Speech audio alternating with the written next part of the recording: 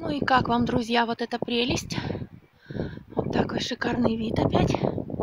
Вы знаете, я сегодня что хочу еще раз отметить? То, что вам говорила уже, что у нас погода, я имею в виду в Англии, вот она вот такая вот переменчивая. Вчера у нас дождь лил, а сегодня, пожалуйста, вам опять солнышко. Что и требовалось доказать. Сегодня гуляю опять с вами. Иду мимо, снимаю красоту вокруг. Ну вот не только красоту, конечно. Вот это вот я сколько хожу мимо, я обалдею. Вот от этого вот, посмотрите. Стоит калитка с умным видом. А здесь все, пожалуйста, заходи, хошь. Ни забора, ничего, но зато калитка. Но это вот дом такой, который тоже уже старые-старые люди какие-то жили. А сейчас уже, наверное, даже никого и не живет, потому что я частенько здесь мимо прохожу, и оно в таком запустении все. Скоро будет, наверное, продаваться уже опять. Потому что дом-то неплохой, но видите, вот он какой уже запущенный весь.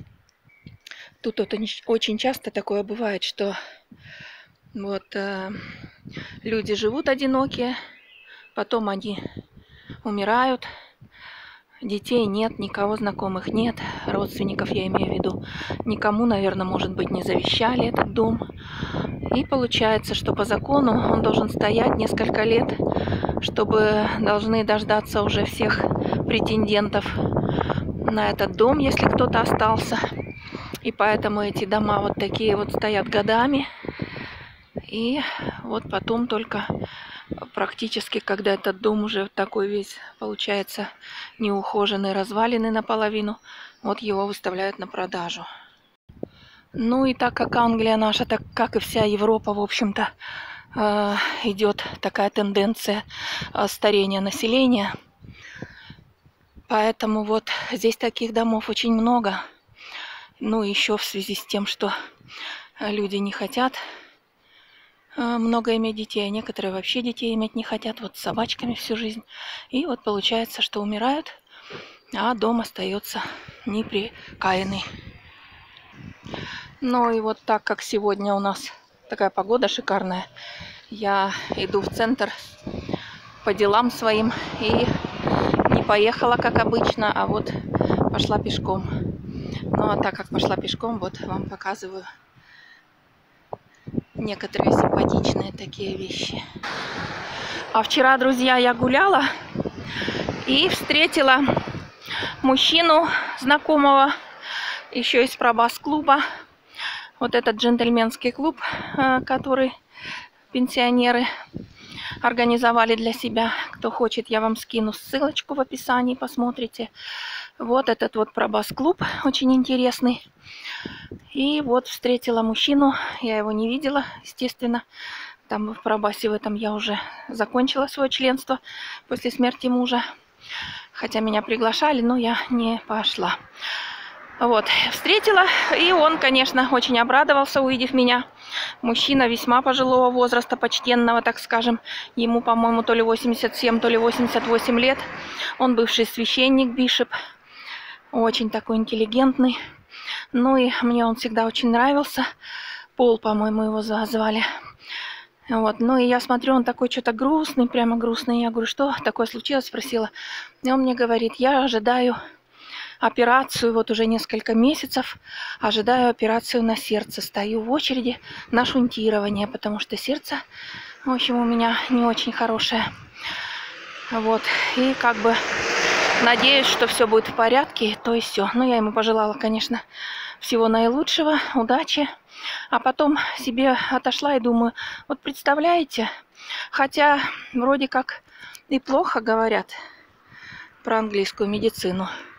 Но вот меня поражает, вы знаете, то, что они вот берутся делать такие операции серьезные, вот таким вот пожилым людям, вот 88 лет человеку ему берутся делать операцию шунтирования на сердце.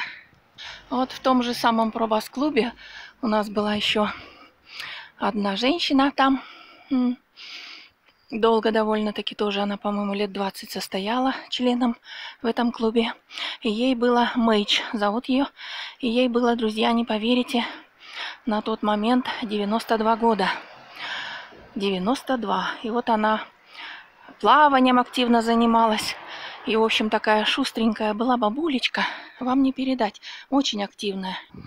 И вот, вы знаете, ей сделали операцию в 92 года. У нее была проблема с шейкой бедра. Вот это вот, этот сустав.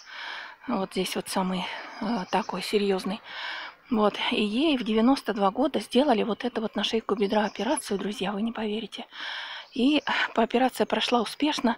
Я потом ее встретила. Она до этого ходила, немножко стала с палочкой ходить. А потом после операции она опять бегала. Я не знаю, как заводная. Вот.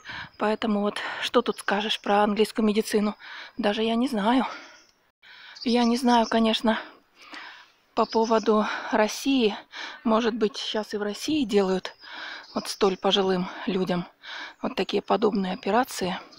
Я не знаю, конечно, но вот я только вспомнила, что в 91 году, по-моему, в 91 как-то так, или в 97 даже, вот у меня дедушка, ему было 90 лет, и он жил с нами, вот, ну, старенький, конечно, такой, но он был вполне себе даже нормальный. И он до последнего работал. Вы знаете, он, по-моему, тоже где-то до 85 лет работал. Ну, а как вы понимаете, возраст свое берет. И он э, уже работать не смог. Вот жил дома. И вот однажды ему стало очень плохо. Э, по-моему, что-то такое с желудком, что ли, он ничего есть не мог. И так я понимаю, что у него боли были. Э, что он попросил, чтобы ему вызвали скорую помощь. И вы знаете, друзья, когда я позвонила э, лично в эту скорую помощь, они стали записывать данные больного, что с ним случилось. И когда я сказала год рождения, что ему 91 год, они сказали, нет, нет, нет, мы машину гонять не будем, мы не поедем. И трубку бросили. И я, вы знаете, как человек очень эмоциональный, я начала рыдать. Потом немножко успокоилась, собрала все свои сопли, позвонила еще раз. Говорю, вы знаете, как же так? Вот человек всю жизнь работал, отдал всю жизнь свою на, на благо государства, так скажем, да, а, такими высокопарными словами уже мне пришлось тут что-то говорить. Потом этой женщине, которая там на проводе, я ей стала объяснять, говорю, а вот вы представляете, вот вы, вы же тоже никуда не деваются от этого. Люди все стареют рано или поздно. Говорю, а если вас вот так вот на свалку выкинут? Короче, я кое-как упросила, она согласилась, э, вот приехала скорая, они даже не стали особо опять же заморачиваться, вот эти уже врачи, они посмотрели и сказали, что ну а что вы хотите, человеку 91 год, он свое пожил, и все, друзья, и они уехали, и больше они никогда ни разу не приехали, и мы так и не узнали, что случилось, с дедушки становилось все хуже и хуже, он месяц пролежал и умер. Вот я к чему вам это рассказываю, такую грустную историю, потому что После вот всего вот этого, понимаете, что я насмотрелась, и когда здесь вот мне рассказывают, что в 92 года человеку сделали такую операцию, и при том ее сделали бесплатно, то я, конечно, поражаюсь. Поэтому вот такие вот плюсы здесь жизни в Англии, они все равно, как сказать, очень-очень значимые, очень весомые. Ну, а это вот наша замечательная будка телефонная с вот такой вот шандалер с такой люстрой чудной. Кто не видел, показываю еще раз. Придумали же. Но вообще, друзья, как я вам уже говорила, минусов